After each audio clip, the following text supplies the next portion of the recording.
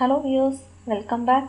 In this video we are going to see about the boolean or logical operators in Python and how they work on numbers, strings and sequences. That is how they work on non-boolean values. Let's find out the output for this. We have three boolean operators in Python AND operator, OR operator and NOT operator. Come on, let's move on to the definition of these operators first then we'll work on these examples. So as I said, there are three boolean operators in Python. AND uh, and OR takes two operands, NOT takes only one operand. So in this case, X and Y are the operands. So AND operator, the result is true if both operands are true. If X and Y both are true, this will give the result as true. For OR operator, if either of the operands is true, if either X or Y, if any one of the operand is true, the result is going to be true. Whereas for a not operator it's just going to be the complement of the operand. If x is true, not x will return false. If x is false, not x will return true. Now let's see how these operators work on all the non-boolean values like strings, numbers, list, tuples, dictionaries.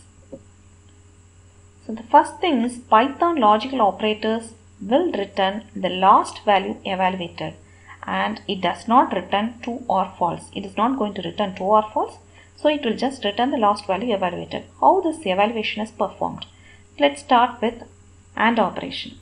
Taking the expression x and y, you will evaluate x first. If x is false, it means that the whole evaluation is going to be false. So its value is returned. Otherwise, y is evaluated and the resulting value will be returned. So in case of x or y, first will evaluate x. If x is true, its value will be returned. Otherwise, y is evaluated and the resulting value will be returned. And the operator not, this will return true if its argument is false, false if the argument is true. So let's take those examples and work on it. The first example is 100 and 200. Let me start with 100 and 200 alone. We are working with integers now and Python considers 0's boolean value is uh, false and any other number other than 0 will have the boolean value as true. So in this case it is not 0 so this boolean value is going to be true.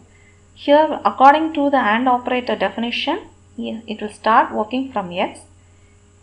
We have seen here if x is false only its value is returned. In this case we have x value is 2 so y is also evaluated. y is also 2 so 200 will be returned now. Now if I give 100 or 200, what will be the result? So x will be evaluated first. 100 it is a non-zero number, so the result is going to be true. So it is not going to go for the second part itself. Since the first operand is true, it will return the first operand value itself. 100 is returned. So in our example, we have 100 and 200 or 300. 100 and 200 or 300. So this will work from left to right and AND operator takes higher priority than OR operator. So 100 and 200 will return 200. Now 200 or 300 will be evaluated and 200 will be the result. So this is how it works for integers. Similar way it works for floating point numbers also. So if you are having some 12.5 or 12 if it is a non-zero number, in our case, the first value will be the resultant. Take some other example, 100 and 0. So in this case, it is a 0. It means it is going to return false. So in the first case, x and y, this is evaluated. It is true.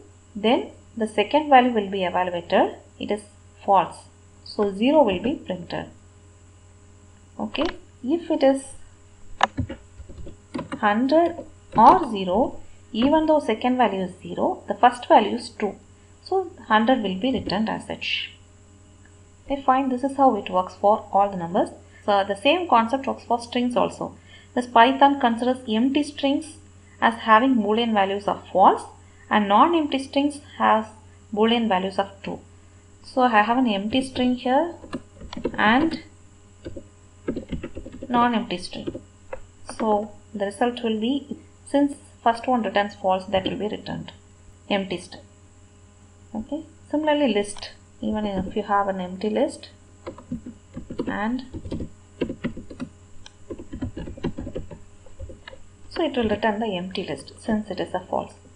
In this another case if you are using OR operator even though you have an empty list empty list or 1 2 3 will give you the result as list containing elements 1 2 3 and the not operator is simple. If you have true not true is going to return false. And not false is going to return. True that's it. Similarly it works for any other numbers. Not 1 2 3 1 2 3 it's a non-zero integer. The value is true. So not true it means it gives false. If I just give non-zero the result will be true that's it about Python logical operators. How it works. We have identified the answer for 100 and 200 15.5 or 15.5 this will return. This floating point 15.5 because this itself is a non-zero number. 0 and hello will return 0 not this is a dictionary containing two key value pairs.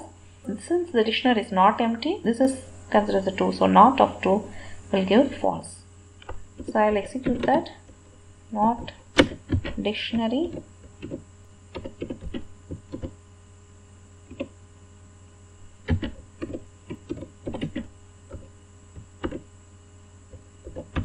return false that's it about Python logical operators. Thanks for watching.